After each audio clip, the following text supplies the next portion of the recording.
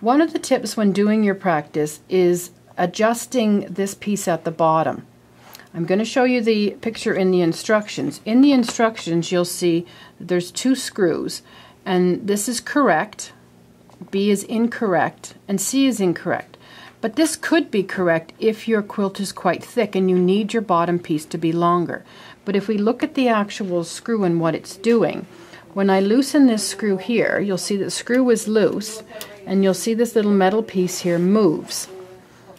So that can make your bottom piece too long or it can make your bottom piece shorter. You ideally want them to be even.